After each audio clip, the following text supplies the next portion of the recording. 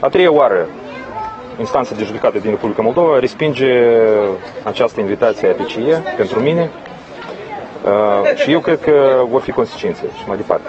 Îmi pare rău că uh, în Republica Moldova, în secolul 21, mai sunt persoane care sunt persecutate pe criterii politice. Cred că este rușenie pentru uh, ar trebui să, să este absolut anormal când într-un stat membru al Consiliului Europei sunt deținuți politici, când uh, angajamentele noastre ca stat, atunci când Moldova a aderat la Consiliul Europei, sunt uh, încălcate permanent și nu numai în cazul nostru, mai sunt și alte cazuri. Uh, eu cred că această justiție a lui Plahotniuc n-a putut să ia alte decizii decât cea pe care au luat azi. Ei se tem de opoziție, ei se tem de cei care luptă cu actuala guvernare.